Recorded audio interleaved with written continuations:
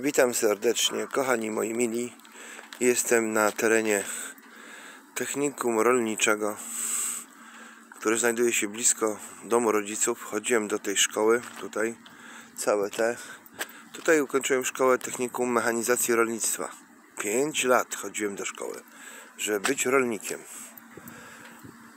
Oczywiście w tle, o, w tle widać internet internet, bursa, która w czasie wakacji zapełniała się muzykami grającymi na warsztatach, więc naprzeciwko domu taki oto internat, gdzie wszyscy ćwiczyli i rosłem wakacje zamiast odpoczywać miałem e, grających na wiolonczelach, na skrzypcach muzyków, którzy siedzieli w tym internecie nie w internecie, tylko w internacie i potem chodzili ćwiczyć do parku. Tu, gdzie teraz jestem, tu jest jakaś nowa hala sportowa, całe te. Ale jak oczywiście wczoraj pojeździłem z kolegą Piotrkiem Rosomakiem, moim e, wiernym czatersem, to mi się tyle klapek otworzyło w głowie, także polecam odwiedzać miejsca, które kiedyś e, jakby towarzyszyły naszemu życiu. Słuchajcie, tutaj taki mały budynek, nieduży budynek, to był, czy nie wiem, czy teraz jest, to jest e, taki zakwaterowanie dla zaocznych studentów, którzy na sesje przyjeżdżali weekendowe. Za nami budynki, dwa budynki, tak, połączone tak zwana siłownia, gdzie uprawiałem podnoszenie ciężarów i tutaj całe te hala do zapasów. Że tak powiem, uprawiałem także zapasy, żeby nie było, że ten taki grubasek ze Szczecina myśli sobie, że jak coś, to mogę poskakać po nim. To w ogóle szkoła technikum rolnicze, to wiadomo, Rysiek A przekonał się, że artysta Stan Borys też zakończył naukę w tej oto szkole, do której uczęszczałem. Zostałem technikiem mechanizacji rolnictwa. Tu był bardzo duży kompleks budynków, boisk, gdzie można było pograć, także blisko miałem i tak jak umiałem, tak trenowałem. Były boiska do no co prawda wyasfaltowane, ale były dwa boiska do piłki siatkowej, w którą też grałem chyba z 5 lat. No, trzeba by chyba trochę się poruszać. Z tego co tutaj pamiętam, to, to, to właśnie wiele ciekawych rzeczy się wydarzyło w moim życiu. Ta młodość. No oczywiście młodo się czuję, ale chcę Wam jeszcze pokazać, bo to naprawdę całe te fajne.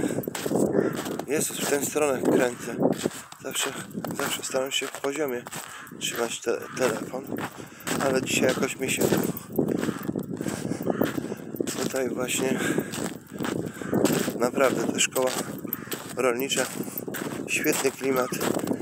Byłem jednym z trzech chłopaków z miasta, którzy chodzili do szkoły rolniczej, więc wszyscy mieli ubaw Tutaj widzę, że już czegoś nie widzę, ale z mojej pamięci, z młodości, tutaj był Jezus, lód, śnieg, Panie dziejów.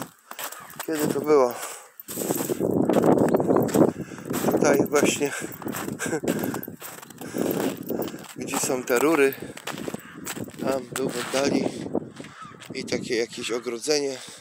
W tym miejscu był basen przeciwpożarowy.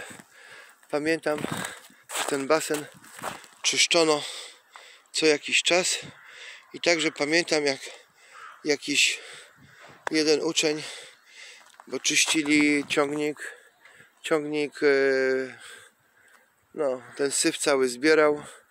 To był głęboki basen przeciwpożarowy i chłopakowi się po, pochrzaniło i dokonał cudu, czyli wjechał ciągnikiem do basenu przeciwpożarowego. Cała szkoła się śmiała z chłopaka. I właśnie tu mi się to przypomniało, bo to właśnie tu był ten basen przeciwpożarowy. Tam w tle warsztaty. Tam uczyłem się jeździć ciągnikiem rolniczym. Szkoły rolnicze kiedyś miały taką fajną rzecz, że przejście z czwartej do piątej klasy e, musiało być, był przedmiot prawo jazdy i osoby, które nie zdały prawy, prawa jazdy nie przechodziły do piątej klasy, więc szkoła fundowała, opłacała. Instruktorzy byli właśnie tutaj z naszego technikum. Tam dalej też jest w ogóle taki budynek.